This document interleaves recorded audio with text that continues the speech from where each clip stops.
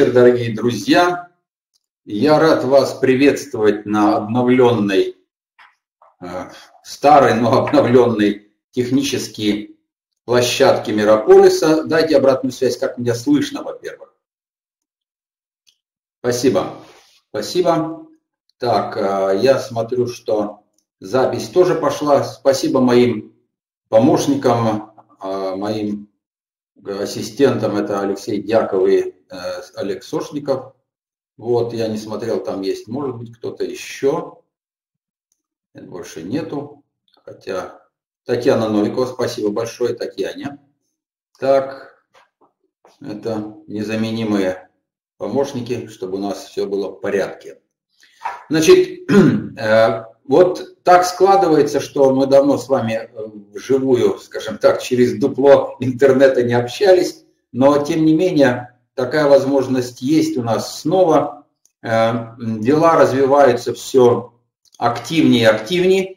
Вот, есть что как бы рассказать, поделиться своими актуальными и важными, на мой взгляд, по крайней мере, соображениями. Вот, давайте с этого сегодня и начнем. Э, таким образом, дорогие друзья, значит, что хотелось бы сегодня для начала вам э, обозначить. Смотрите, э, не, ну что тут, я небольшую вам открою тайну, что 13 этап на, завершается. Вот он здесь у нас, да, вот. Но я хочу вам напомнить логику, откуда и куда мы идем, и что это значит э, в так называемой залоговой стоимости или, ну, скажем так, на примере э, пакета э, миллион двести тысяч акций. Если это залоговый пакет на такой человек ориентируется, то, скажем так, себестоимость инвестированного, инвестированного в, как бы в это дело, какова она была на этот пакет. На пятом этапе это конец 2015 года, это было 2000 долларов. Я даже желтым это дело обозначил. Но э, поскольку риски уменьшаются, проект развивается, и сейчас вы как раз видели, это уже четвертый Экофест, четвертый, друзья. Я помню первый Экофест, 2016 год, э, апрель, апрель месяц, конец апреля, значит, э, шаманили, чтобы нас солнце бы наградило, что там и произошло. Э, нулевой километр открывали и так далее. Даже еще не было, э, не было еще возможности, э, скажем так, показать ни одного средства передвижения. Были, были уже трассы какие-то, ну, как бы проложены, но были даже не столько трассы, сколько были просто опоры. Это 2016 год. Это конец 2015 года. Менялись этапы. Мы с вами находимся на 13 этапе. И я за основу взял, знаете, такой среднеарифметический, э, среднеарифметический расчет, э, каков, э, ну, скажем так, на, вот, на пакет в 1 миллион 200 тысяч акций залоговых человек инвестирует и готов, скажем так, получать, получить в залог такой пакет акций. Сегодня это 23 530 долларов. Как бы его инвестиция, которая, которую надо внести и при желании получить в залог миллион двести акций. Залог взять себе после того, когда эта инвестиция завершена. Четырнадцатый этап – это уже 29 тысяч и 2 тысячи. То есть разница есть. О чем она говорит? Она говорит о том, что капитализируется проект, что а, инвестиционная привлекательность постоянно повышается. И теперь смотрим на следующем слайде. Значит, если посмотреть по э, стоимости одной, или так называемой не стоимости, правильно сказать так, а инвестиционной э, как бы себестоимости одной э, взятой а, акции из залога, то здесь на пятом этапе это было 24 тысячных, или 24 десятитысячных Э, доллара, э, на 14 этапе это будет 4 э, цента. И это уже, это уже серьезная цифра. Поэтому если взять с 5 по 14 этап, рост значимости залога практически 1666 процентов, 67 даже процентов почти. Понимаете? Это серьезные цифры. Да, конечно, это говорит об очень серьезном развитии проекта. И это значит, что в среднем 416% в год с 2015 по 2019 год. Всего-то ничего. Вот. И поэтому, конечно, это очень серьезно. Да, есть целая группа инвесторов, которая говорит, ну да, интересно, это все интересно, но когда мы будем получать? Все будет в свое время. И поэтому, э, скажем так, что этот проект очень э, интересный, э, как возможность долгосрочного инвестирования. И это не тот инструмент, это не та площадка, на которой имеет смысл делать быстрый бизнес. То есть это самое, э, проинвестировал, получил, получил, проинвестировал. Это накопление, это создание своего портфеля, и это работа на будущее. Причем, я еще раз повторю, посмотрите, что творится сейчас на сайтах, что сейчас творится на различных э, ютубовских роликах, когда идет речь о том, что, что ожидает или как что там только не предрекают финансовой системе, финан, системе монетизации, мировой системе, банковской системе. Мы стоим, не стоим, а двигаемся потихонечку, потихонечку над обрывом уже, понимаете, или обвалом. Обвал будет очень серьезный.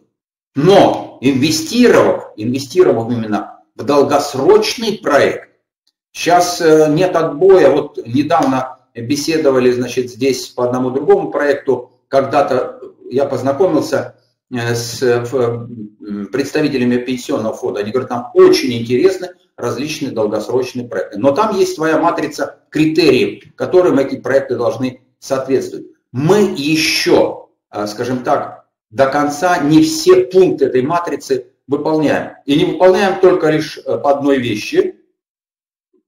Это то, что, скажем так, завершенного проекта Э, заказа на основе уже сертифицированной технологии нет. Хотя есть уже проекты, которые каждый, каждая трасса построена в самом экотехнопарке в Минске, э, извиняюсь, в Мариной горке, построенная или достраиваемая сейчас в, значит, в Шарже и так далее. Это реальные проекты. Да, много сейчас спроектировано. Поэтому вот-вот-вот-вот-вот начинается такой этап, когда и большие инвесторы, и очень большие инвесторы будут заинтересованы уходить. А, поэтому сейчас готовится целый ряд предложений для крупных инвесторов. Вот. И, скажем так, наше сообщество тоже, люди обращаются. Вот я несколько дней подряд беседовал с людьми, они просто просят вот в, э, в скайпе и в интернете Э, как бы, ну, консультаций, как привлекать э, крупных инвесторов. Я спрашиваю, что такое крупный инвестор? Они говорят, ну это уже 10 тысяч, 50 тысяч, которые хотят инвестировать, вот, и это уже юридические лица. Сейчас мы как раз вот на подготовке пакета, и какой механизм использовать? Использовать ли кабинет или использовать через кабинет и площадку? Если это юридическое лицо, для юридического лица он должен проходить еще потом аудитирование. Если ну, частное лицо, ну, жена является самым мощным, или муж является самым мощным аудитором, у юридического лица есть более серьезный, то есть финансовый аудитор, который смотрит, куда деньги размещены, как они в балансе отображены и так далее. Поэтому сама инвестиция э, с точки зрения баланса и размещения финансовых средств компаний очень выгодно. И мы не будем сегодня разбираться, к этому мы еще придем, вот, но э, и это интересно. И это аудитируемое все, но тогда должен быть и площадка, через которую это дело... И мы тогда начали смотреть, ну, друзья, у нас же есть такая площадка, и мы об этом сегодня тоже будем говорить немножко, так? Теперь, а что я хотел вам еще сказать, что вы знаете, вот развиваясь наш проект, он все больше и больше Э, охватывает э, окружающее пространство и обращает э, взоры, понимание, визионирование или представление значит, будущего, будущих проектов в рамках того, о чем говорит Юницкий, о чем говорят авторы, а говорит автор и вся команда нашего проекта. Вот посмотрите, я вам сейчас покажу только выдержки из одного ролика, который сделали здесь финские Э, финский инвестор э, или ну, команда Петера Вестербака, я о нем неоднократно говорил вам, если кто помнит, это они делают, развивают проект туннеля между Хельсинки и Таллином под морским дном залива, Финского залива, Балтийского моря. Вот. Недалеко от Хельсинки, или, скажем так, в Хельсинки, можно сказать так, туннель начнется, берет свое начало, и в Таллине он как бы завершается, это 82-85 километров в зависимости от его трассы, его прокладки под море. Есть проблемы, но работа идет, 100 миллионов инвестировано уже значит, арабо-китайскими инвесторами на разработку, э, на предпроектные, только на предпроектные работы, друзья. Сам проект более 26 миллиардов евро стоит, но тем не менее, и вот э, следующее я просто покажу вам визионирование. Это просто как будто вот ну, для нас готовится почва. И что э, интересно, то, что мы с ними беседовали, и действительно, Skyway для них известен, а, мы уже два года назад э, с Петером Вестербаком встречались. И вот смотрите, это Хельсинки центр, э, это эм, как бы полуостров, с которого они собираются начать э, путь этого тоннеля.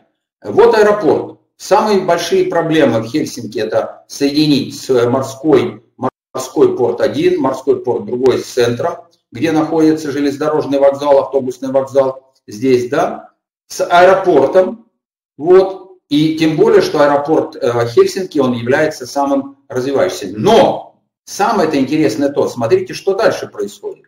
Начинается высотные здания, э, здесь вот этот поперечник, э, здесь уже само расстояние более почти 5 километров. Вот если взять отсюда и сюда немножко вот зайти за, этот, за, за саму картинку, 5 километров. Здесь тоже надо двигаться. Они говорят, мы можем это решить только на базе э, технологий Skyway. Они спят и видят, когда мы сертифицируем и выйдем э, в, в этот самый, как бы, ну, в работу, уже откры, открытую работу по открытым И вот теперь начинается из Хельсинки, идет э, тоннель под морским дном, но возникает посередине моря искусственный остров в виде лепестка, э, лепестков цветов с лепестками. Это более 5 километров, скажем так, вот здесь тоже, значит, извиняюсь, более 10 километров его как бы вот такой, ну, разрез здесь, а, расстояние. На нем до 50 тысяч человек располагаться будет, так? Это база для ну, деятельности, жизнедеятельности и так далее. Но самое это важно, что здесь движение только на базе Скавей. Никаких трамваев, никаких других Э, транспортных средств там невозможно сделать. Теперь я вернусь еще обратно. Э, как бы там кто ни гоношился, то здесь тоже в центре Хельсинки всяческие трамвайные проекты уже просто отметены. Все движения между самыми основными э, узловыми мультимодальными центрами транспорта можно осуществить только на базе Skyway. Да, если они будут прокладывать здесь тоннель, это одно дело. Если не будут, и это очень дорого. Здесь не очень просто это делать из э, порта. Они запускать собираются сюда скоростной э, железнодорожный э, вариант. 250 км в час двигаться должен этот состав. Вот. Но это отдельная история. Я рассказываю о том, чтобы понимать, что то, о чем мы говорим, реализуется и мы нужны. Вот несколько еще картинок всего этого дела. И вот он приходит в Таллин. В Таллине та же самая история. Он пришел к аэропорту, вот здесь аэропорт, видно, что здесь движется эм, значит, железнодорожный транспорт синей линии, отсюда взлетают вверх э, э, самолеты. Здесь городская внутренняя линия двигается. Но это внутренняя городская железная дорога. Но между неизвестно сегодня, будет ли э, оконечная станция здесь или она еще где-то здесь будет. Rail Балтика, она будет здесь, станция, но есть еще морской порт здесь в городе, есть морской порт здесь, их тоже надо соединить. Как их соединить? Трамваем нет, не решается. То есть, опять-таки, а, Skyway а, обязательно будет играть роль связующего транспорта, городского транспорта. То есть узловые мультимодальные центры будут между собой связаны. И это, как говорится, наше будущее. Это для нас уже работает. Вот они пришли сюда, дальше аэропорт, аэропорт развивается, аэропорт очень заинтересован. Сегодня сюда приходит трамвайная линия, ее искусственно сюда проложили, где-то здесь немножко под железной дорогой прошли и так далее. Дорогое, дорогое удовольствие, медленное удовольствие, но тем не менее коммуникация есть. Но когда мы говорим о нашем виде транспорта, аэропорт видит, что это очень важно. И почему это важно? Важно потому, что пассажиропоток э, Хельсинского аэропорта увеличивается будет в ближайшие 5 лет э, в 4 раза, и он э, зашкалит более, значит, более, более, более 15 миллионов пассажиров в год. Вот. Будет поочередно и дойдет до 30 миллионов пассажиров в год. Это очень серьезный поток именно между Юго-Восточной Азией и Юго-Восточной Азией в Европу через воздушные коридоры над Россией. Это очень серьезный э, проект, над ним уже работают более 8 лет. И, а дальше этот поток будет через Сталин уходить в Европу разными другими видами транспорта, рас, рассредотачиваться и так далее. И Таллинский аэропорт тоже начинает играть свою определенную роль, чтобы не приземляться здесь, а приземляться там и за полчаса оказываться здесь. Полчаса всего лишь э, преодоление 80 ну там 90 километров, э, больше 90 километров, если взять от аэропорта. И это надо будет обеспечить э, комплексно. И скоростная дорога, железная дорога, которая будет в тоннеле, хотя это сегодня еще окончательно не решено, не исключено, что это может быть и Skyway. И наш вид транспорта, межгородской вид транспорта. Абсолютно спокойно причем. Вот. И они это у себя за ухом в уме держат. Поэтому это очень важно э, понимать, что перспектива постоянная есть. Это говорит о том, что проект э, шаг за шагом развивается, но не так, что вот сегодня уже все, уже там идут дивиденды и так далее. Работать надо. Что мы и делаем. Теперь э, давайте вспомним, значит, что у нас вообще есть и как, потому что много задают вопросов, поэтому я решил еще раз показать. А, мы инвестируем э, в экотехнопарк, и сейчас э, в инновационный парк в Шарже, вот, э, через кредитование под залог.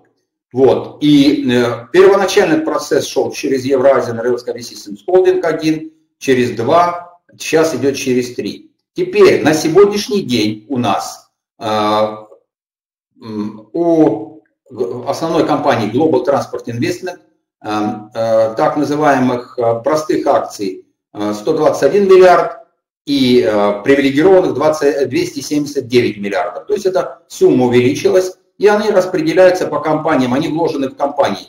Евразия Railsky Systems Holding 1 15%, 16-33 сюда, и сумма здесь такая, и 36,42% Евразия Railsky Systems Holding 3. А, почему увеличили эту сумму э, в третий? Чтобы значит, в каждой из этих компаний для оперирования и залога под инвестиции можно использовать 50% минус одна акция. Это на этой стороне, вот она, 50% минус одна акция. 50% минус одна акция. Вот. И 50% минус одна акция здесь. Потому что в каждой из этих компаний должны остаться свободные акции 50% плюс одна акция, которые будут выведены на IPO, то есть на международную биржу. Рано или поздно это будет обязательно сделано, и скорее всего это будет раньше, чем даже предполагалось. Но это будет. Если вы кто-то спросите, когда, не знаю. По-разному можно здесь сейчас э, гадать, потому что э, создаваемая и находящаяся в процессе э, площадка или платформа значит, Skyway Global Token или блокчейн-платформа Skyway, она может очень существенно усилить и ускорить этот процесс. И это очень важно тоже понимать и иметь в виду. И поэтому, э, скажем, это очень важно. Но у нас есть резерв, если мы сейчас перейдем как бы, ну, к тому, что мы с вами являемся все инвесторами. У нас есть малоиспользуемый резерв и как для физических лиц, и для юридических лиц. Это Royal Capital Group. Это создана компания, которая имеет лицензию на продажу своих личных акций вот, и на привлечение акций различных компаний. И этот процесс здесь идет очень просто. Инвестор инвестирует в Royal, но здесь э, не менее 10 тысяч э, пакеты. Сейчас готовятся интересные предложения для эксклюзивных инвесторов. Вот. абсолютно буквально в ближайшее время она будет предложена. И инвестируя в Royal Capital Group, Royal Capital Group получает возможность закупать, уже закупать, понимаете, закупать у Global Transport Investment тоже так называемые, не так, а реально привилегированные акции. 2% акций выведены сюда, это 8, 8 миллиардов 17 миллионов акций находятся в резерве под эти инвестиции. Это очень как бы понятно и выгодно, в особенности для юридических лиц. Потому что юридическое лицо, оно имеет, кроме, если, например, я как физическое лицо, мой аудитор является моя супруга, то у юридического лица э, есть аудитор компании, если это маломальски серьезная компания, которая ежегодно дает свое заключение, как компания используется и распоряжается своими средствами. И та инвестиция, которая сделана таким образом, через лицензированную компанию, она является э, легитимной, она является реальной, и она является очень хорошим средством для того, чтобы показать э, именно рост активов компании. И чем долгосрочнее это, тем это лучше. Так, что тут пишут? Знаешь, Sky привлекательно, но как это объяснить э, правительством? Не надо правительством, Юрий. Правительством не надо этого объяснять. Э, понимаете, э, значит, предположим, вот, предположим, Юрий, мы с вами сейчас пошли в правительство куда-нибудь. Мы приходим и говорим, или не приходим, а нас с почестями встретили и так далее. И что дальше? Первое, значит, Э, у правительства есть свои сложившиеся э, ну, как бы порядок, значит, инвестиции и так далее. Э, правительство может понимать, что нужно решать задачи развития транспорта, но рисковать, ведь правительство всех стран практически все политики. И рисковать тем, что какой-то такой транспорт, который еще нигде официально не ездит, очень так, ну, как бы, мы на этом уже споткнулись э, в Индии, дорогие друзья.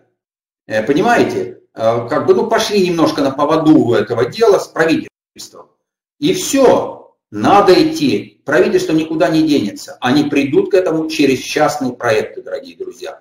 А мне вот недавно, как раз буквально во вторник был семинар здесь в Таллине, люди задавали вопрос, ну а как наше правительство, а как ему рассказать? Я говорю, да, с правительством нужно ровно работать и говорить, есть такая технология, ознакомьтесь, все, понимаете? Потому что и денег-то у правительства нет, зачастую. В лучшем случае на какие-то предпроектные исследования. Ну, если такие деньги есть, это надо использовать и э, как бы дать свое заключение, а дальше время уже покажет. Теперь, эм, вот это уже решенный вопрос. А, э, это понятно, что Skype правительство. Вы говорите, что как будто что это уже решено. Юрий, значит, э, решенный вопрос э, нет, он еще не решенный. Этот проект, который я вам показывал, как раз правительство здесь и начало как бы взбучиваться, мягко выражаясь, если так вот, не хочу более грубо говорить, понимаете? Эстонское правительство, финское нет, а эстонское начало там придираться. Обоснуйте, а что, а почему, а куда, а как это, а кто вам деньги дал и так далее, понимаете? Вот, хотя сами не полпальца, то есть свою значимость поднимают. И э, затянули сейчас процесс э, обоснования, э, поскольку, да, в эстонском законодательстве есть, что э, там есть ограничение сумм, проекты, вот, ну, скажем, от суммы, там, ну, не знаю, там, от миллиарда евро, они должны быть э, как бы одобрены правительством.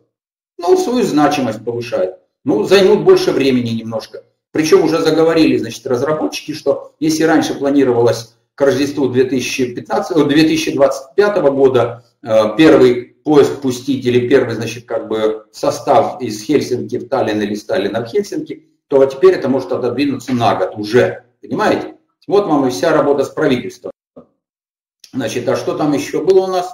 Юрий, как э, посчитать дивиденды? Вот что интересно людей э, формулу дайте.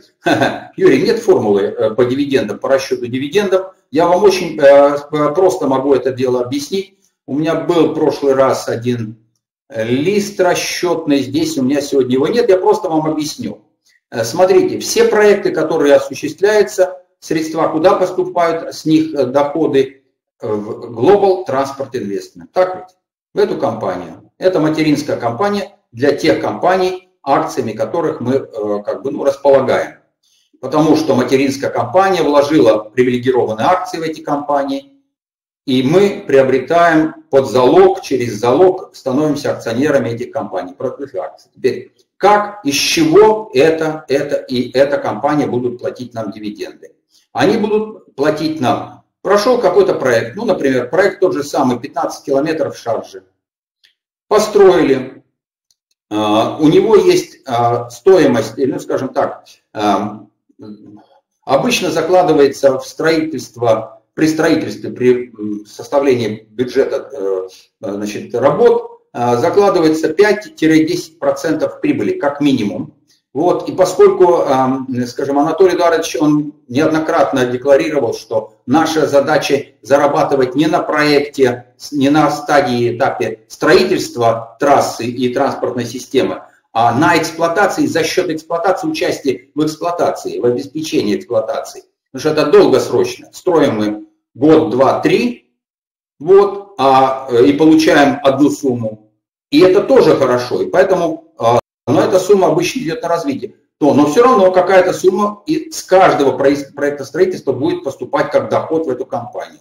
Теперь, также с различных других проектов будет поступать и будет, начнет поступать, э, естественно, текущие доходы, потому что GTI будет э, в каких-то, в ряде просто, в серии, э, в системе всего транснета, создаваемого в мире, будет присутствовать как акционер не менее 25%. С каждого такого эксплуатируемого проекта тоже будет сюда накапливаться сумма. Таким образом, в GTI накапливается за год, накапливается доход. С этого дохода снимаются расходы и вычисляется сумма прибыли, которая идет на распределение. 100% прибыли идет на распределение. Что происходит? От этой суммы, предположим, это 100 миллионов. От 100 миллионов 20 миллионов сразу уходит на распределение вот всем этим раз, два, три акционеров. В соответствии с тем, сколько у них процентов есть, это делится на них 20 миллионов.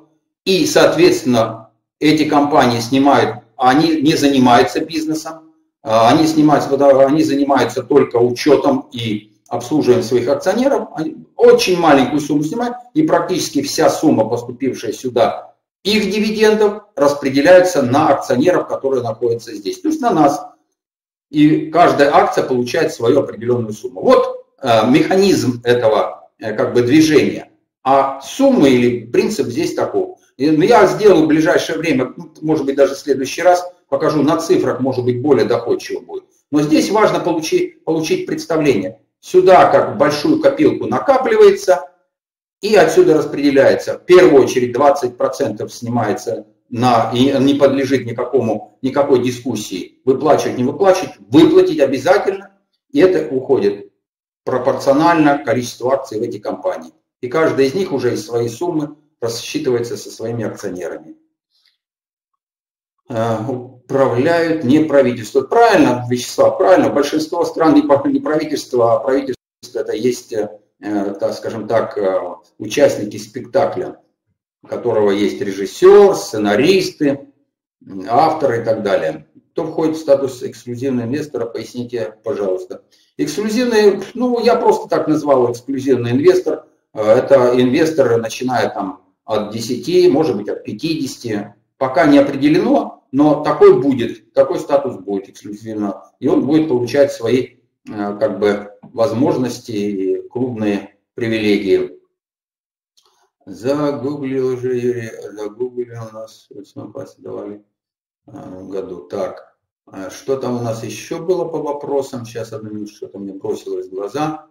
А, в лепестке, да. Таких, кстати, будет лепестков, или таких вот а, звездочек будет две. Это ближе одна через 10 километров от Хельсинки, и 10 километров до Таллина тоже будет второй такой же. Да, 6 человек будет катать эти миллионы. Ну как, не по 6 человек. Там 100, 160 человек может кататься одновременно. Все зависит от того, какая нагрузка у трассы. Ладно, хорошо, тут нет вопросов. Идем дальше, дорогие друзья. То есть здесь понятно. И поэтому закончу здесь с Royal Capital Group. Это компания, которая очень хорошо позволяет работать. И незаслуженно она пока мало использовалась. Поэтому сейчас мы все будем делать для того, чтобы отсюда более интенсивно работать. Будет специальный пакет разработан и занятие будет проведено. Так, теперь дальше. Вот более упрощенная схема. Извиняюсь. Global Transport Investment с одной стороны, с другой стороны, для обслуживания этого процесса Skyway Capital, который э, имеет договор поручительства, с одной стороны, ему GTI поручил вести обслуживание инвесторов, их э, как бы э, учет и так далее. И с другой стороны, он, они являются, эта компания является договор, который, обеспечивающий инвесторам внесение их Э, в акционеры после того, когда они это, с момента, когда они это пожелают.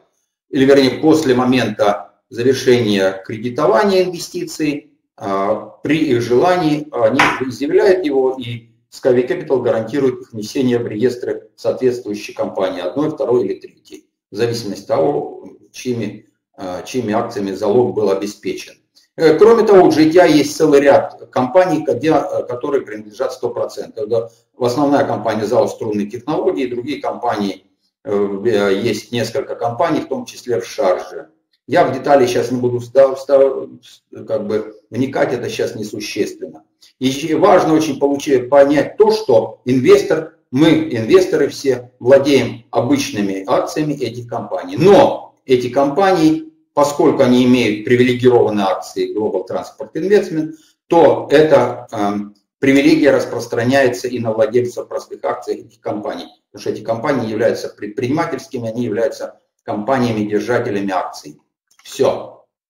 Это очень важно иметь в виду и здесь не зацикливаться. Теперь, что является еще, задают вопросы. Я уже неоднократно показывал таблицу, это выписка в марте месяце из моего а, одна маленькая ну, по Евразиан Railsky Systems Holding. А, видите, здесь это инвестиции 2016 года, да. Вот э, здесь сказано, что у меня есть 14 э, записей в реестре компании Евразиан Railsky Systems Holding. Э, на залоговый мой портфель там вот до, из этих 14 это 2 миллиона 720 тысяч. Вот. И это является Э, выписка из регистра э, акций или доли, как мы иногда называем на русском языке это дело, или зачастую в основном называем, хотя это в принципе акции. Вот, и подписано э, с печатью президентом группы компаний Skyway Юницким, который как бы отвечает за деятельность этих компаний, что это материнская компания Евразиан Railsky System Holding. И это тоже очень важно.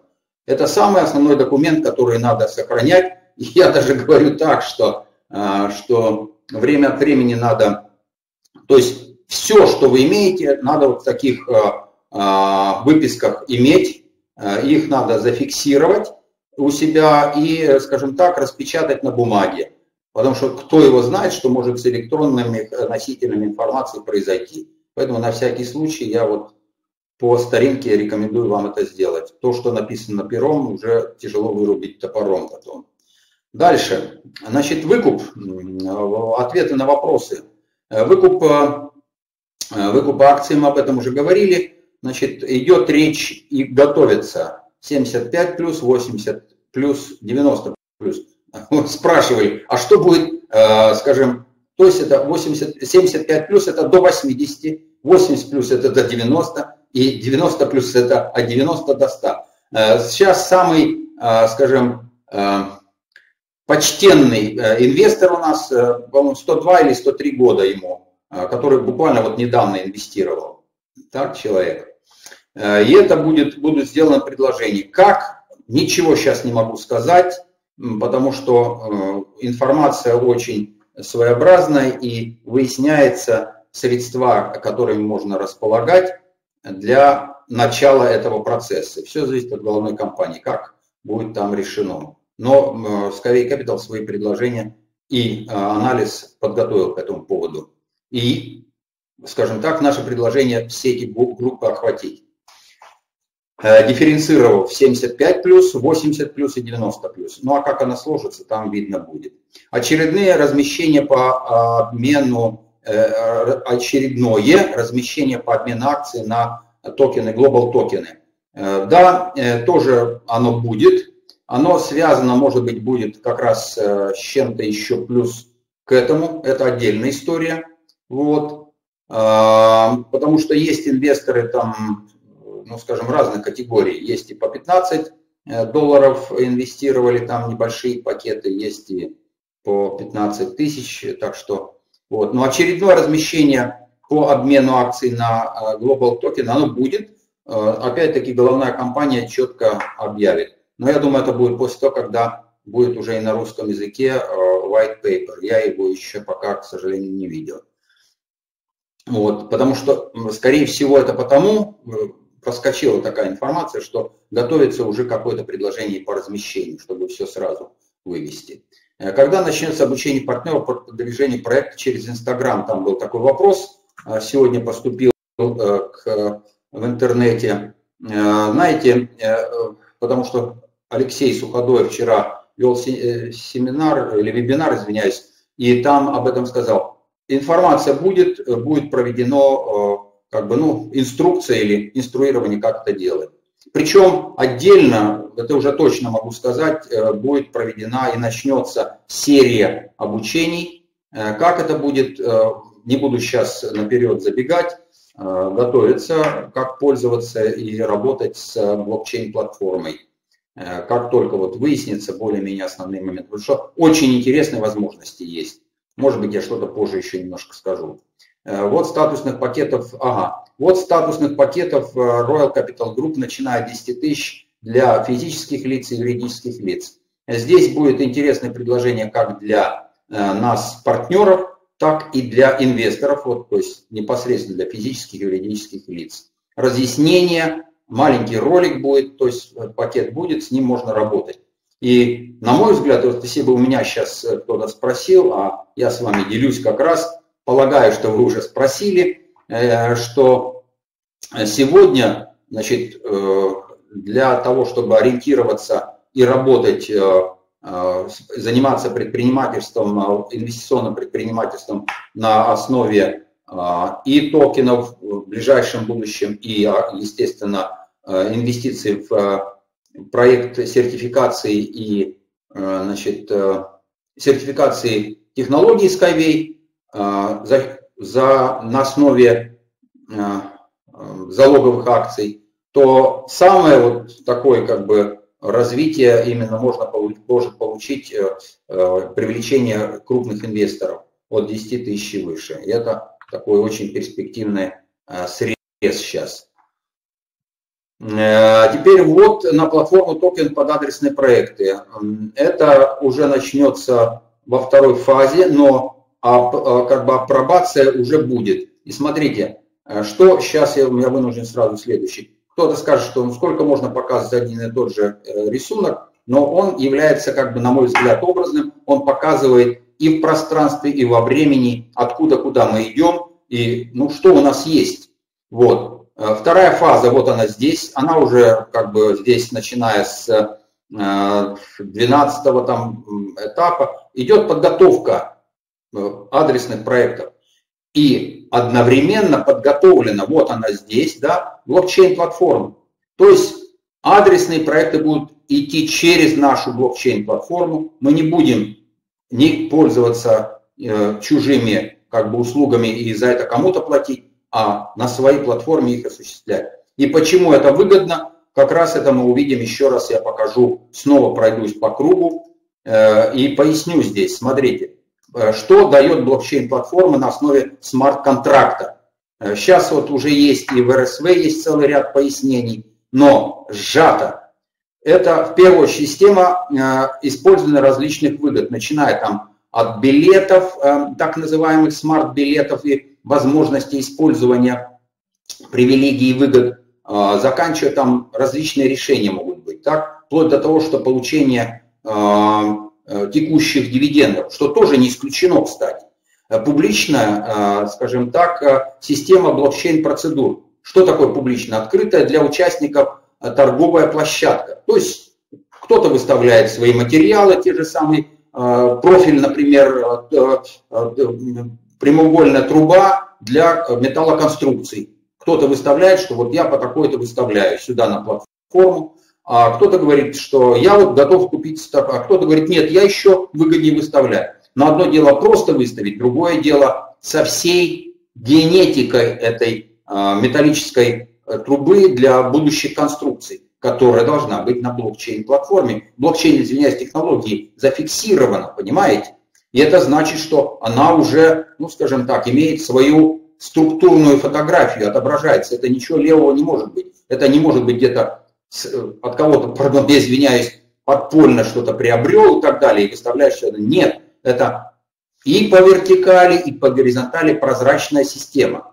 И ровно так кто-то участвует, покупает краски, различные агрегаты, все что угодно на этой платформе. То есть это площадка за счет смарт, а смарт-контракт как таковой, он позволяет моментально, значит, одним щелчком осуществлять, не надо там по 40, по 50 страниц ничего заполнять. Ведь э, если вы посмотрите, кто знает бизнес, то, э, скажем так, колоссальные проекты составляют. Юристы сидят там, корпят, значит, с дым идет из головы, разрабатывают э, проекты, основные договора, где там бог знает, что есть. Причем очень э, плохо срабатывает, и можно там много чего сделать, и потом начинаются судебные разбирательства. Здесь ничего не передернут. Вот что есть, щелкнули, значит все. И никаких обратных ходов нету, понимаете? Есть только э, э, вперед идти. Поэтому, не вдаваясь в подробности, скажу, что это очень мощный инструмент и отдельная среда. Просто отдельная, безопасная, надежная, выгодная для партнеров. И не надо банкам никаких денег платить. Не за переводы, не разрешения от них не спрашивают, ничего. Все осуществляется несколькими кликами. Надежно. Потенциал и возможность создания своей биржи. Абсолютно. Только, только через это. Народное финансирование, проектирование и строительство. То есть всякий проект, всякий адресный проект, всякий проект, не транспортный проект будущий. Потому что куда мы идем? Мы идем с вами, друзья, туда, что у нас начинается эпо, эпоха или фаза новых технологических проектов Skyway. С 20 по 35 год, может быть и дальше. Но я думаю так, что 15 лет вполне хватит. А может быть и дальше будет, я не знаю.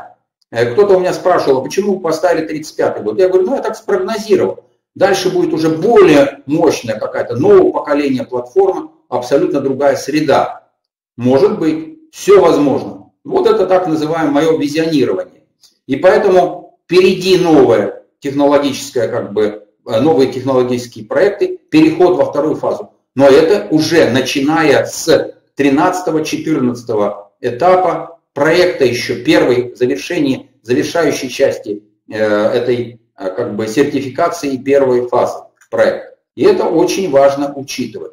Далее, автоматическое управление движением и стыковками э, транспортных э, различных систем, аэрофлота, извиняюсь, значит, авиационные движения с нашим транспортом, каких-то грузов, передвигаемых на транспортных трассах Skyway в системе Transnet Skyway и с морскими перевозками грузов, потому что в мире очень много перевозится контейнерных грузов морскими перевозками, железнодорожными перевозками, авиационными перевозками даже. Вот. И поэтому это все надо стыковать. Эта система должна быть автоматизированной. Причем, опять-таки, начинается точно так же. Открывается э, так называемая среда, которую одни предлагают, другие э, или соглашаются, или не соглашаются. Это с одной стороны, а другое автоматическое управление стыковками именно. Это уже другая, другая вещь. Э, возможность гибкого э, взаимодействия и взаиморасчетов. Но это уже я здесь говорил, так. Организация и оплата транспортных и иных услуг. Тоже говорил. То есть это отдельно выведено. Здесь еще можно много что вывести, но это самые основные, которые дают э, так называемое ну, ощущение того, что дает или может дать и будет давать блокчейн-платформа Skyway на основе смарт-контрактов и значит, Global токенов Skyway. Вот это очень важно учитывать, дорогие друзья. И теперь я хочу, значит, еще вам показать, когда мы приходим к адресному проекту, который сейчас, ну, мы их не говорим, потому что это работа головной компании, но мы уже немножко понимаем, что адресный проект, связанный с транспортной структурой или транспортной трассой или транспортной, э, транспортным решением, транспортное решение Skyway – это так называемый стержень или ствол дерева. А его ветки, его листья, его вся эта система кластерная, она состоит из целого ряда сопутствующих проектов, сопутствующих подпроектов. Это инфраструктурные составляющие кластера, это разные трубопроводы, световоды, там, различные инфоводы, там все что угодно. Это э, значит, связующие э, элементы и так далее. Э, парковочные дома и кассеты парковки. Это парковочные системы, это транспортные системы, связывающие электромобили и дрон. Это энергетические решения, то есть это обеспечение производства энергии различными солнечными, несолнечными, дополнительными возможностями энергии, в том числе использования э, так называемой аккумулируемой энергии самой системы транспорта. Линейные города и поселения – это вообще отдельный раздел, который может сам превратиться в очередное дерево, э, которое используется там, и будут различные технополисы, будут производственные составляющие, чтобы социально-экономическая система работала в линейном городе. Это не только место проживания, но это место и жизнедеятельности людей. Им не надо метаться в какие-то большие города. Там, где живешь, там же буквально у тебя вот в, на расстоянии 20 э, минут твоего входа пешеходного должно быть место, где ты будешь э, иметь возможность осуществлять какие-то, ну, скажем, Э, действия, связанные с обеспечением твоей жизнедеятельности, своей работой, скажем так. Экотехнологии, очистка планеты. Это все от гумуса и завершая переработкой мусора и отходов. Агрокомплексы, новые абсолютно решения, э, которые тоже необходимы будут, чтобы вот обеспечить и линейным городам, и линейным поселениям.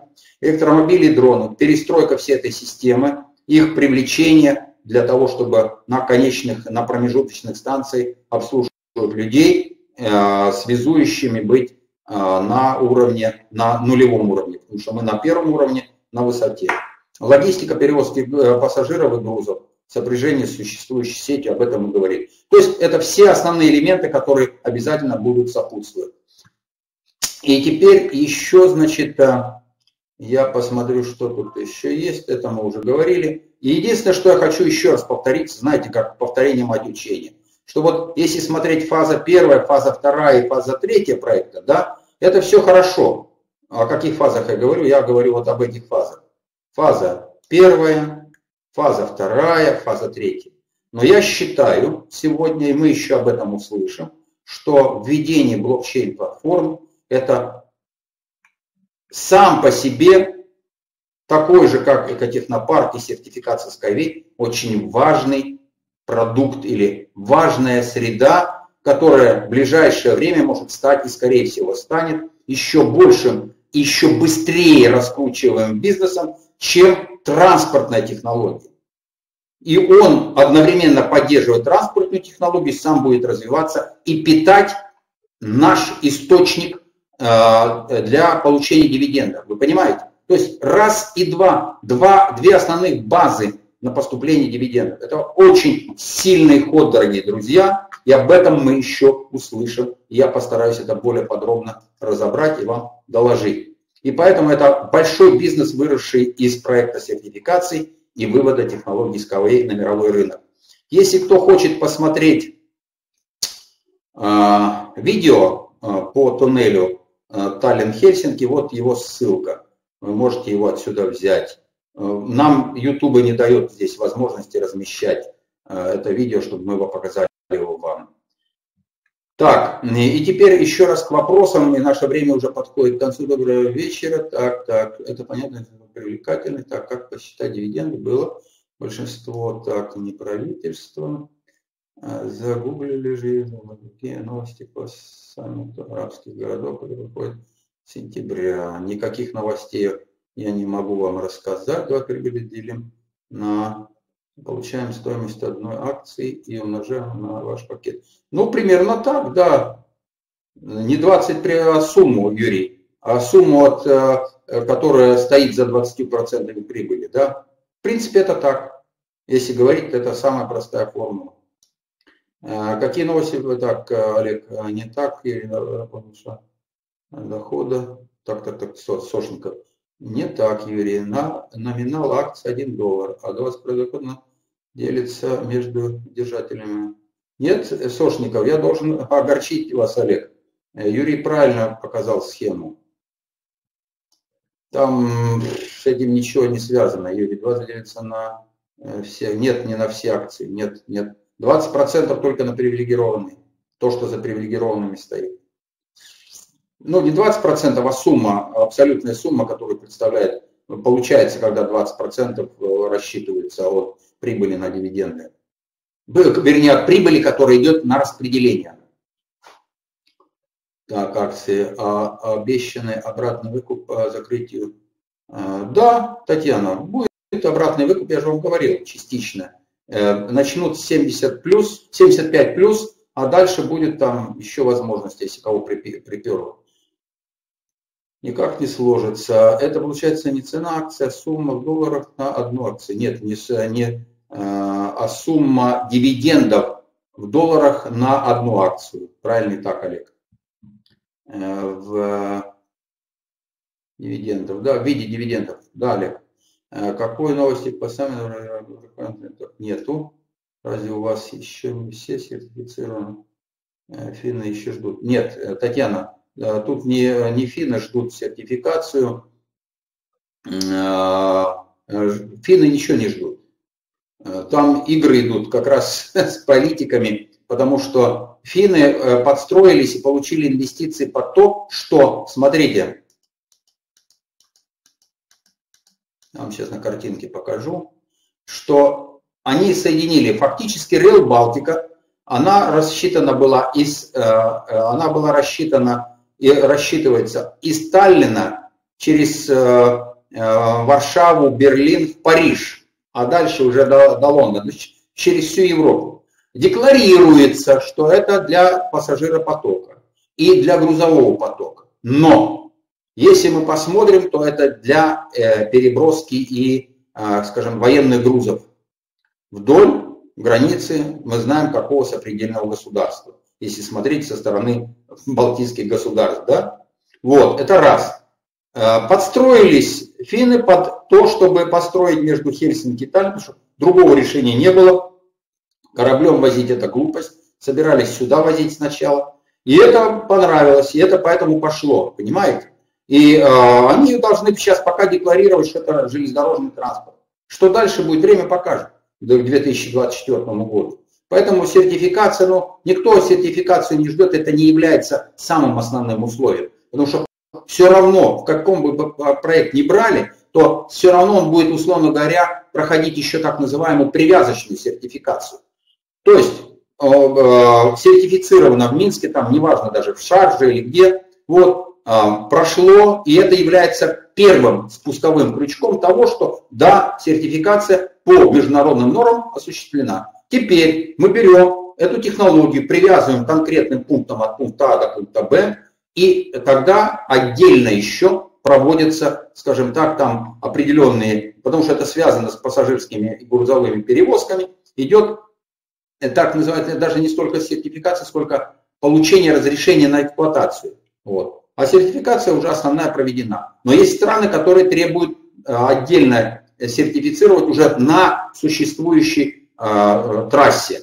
Э, это как раньше, знаете, что было сертификация, когда мосты строили? инженер, который его спроектировал, стоял и руководил строительством, стоял под мостом, когда там испытательный груз проходил. Вот примерно что-то такое, но более цивильно проводится и сейчас. Это где-то называется иногда тоже сертификация уже а, построенной трассы. Фактически это получение разрешения на эксплуатацию.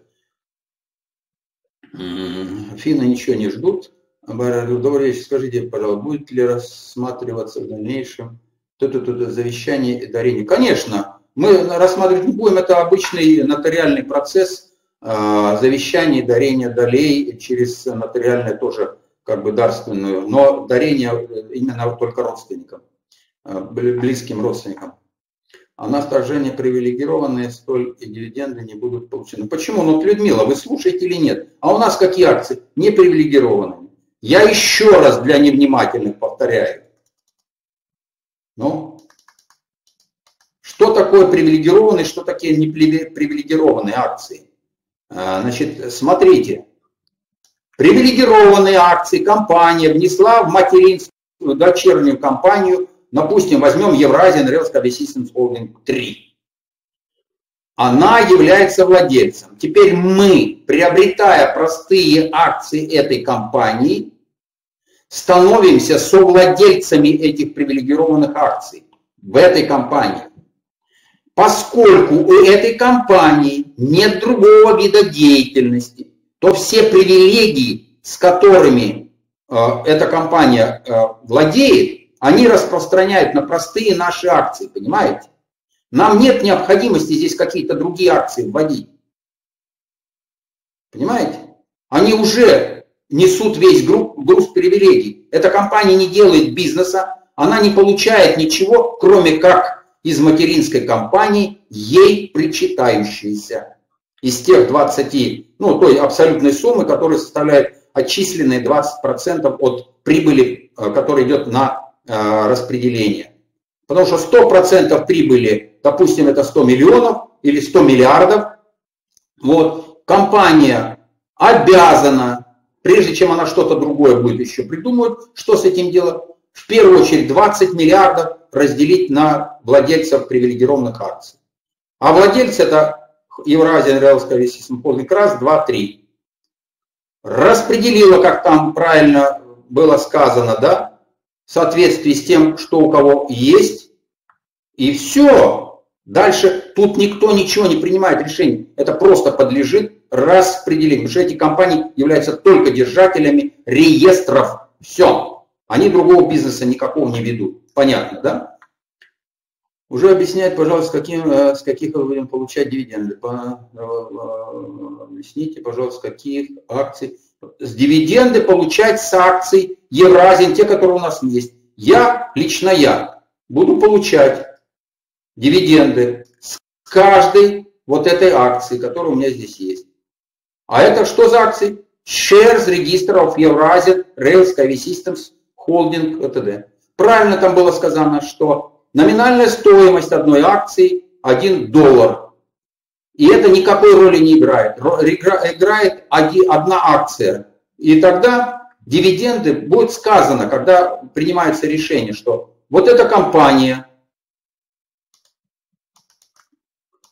эта компания, например, получила на распределение дивидендов какую-то сумму, разделила эту сумму на, значит, на 145 миллиардов 994 тысячи штук и получила, что на одну акцию 0,01, то есть 1 цент, например. И тогда я смотрю, ага, 1 цент на одну акцию, пардон, я смотрю, сколько у меня там было. Смотрю, что у меня тут было. Где у меня тут было? Туда стащили, что у меня было. У меня было, например, ну, например, 240 тысяч акций. 200, 210 тысяч акций. Смотрю, ага, на 1, 1 цент, это значит, что я получу 2, то есть я получу 2100 с этого пакета. С этого получу 4 тысячи, э, 420 долларов. С этого получу опять 2100 и так далее. Понятно, да? Вот, как это идет распределение. Поэтому ничего тут, все очень четко. Какие новости по саммиту? Еще раз новости по саммиту. Как так вы вот эти народ? Леверон получает все сотый раз. Понимает вопрос. Татьяна, правильно. Ну, понимаете, не все везде присутствуют. Так, дорогие друзья, есть еще вопросы.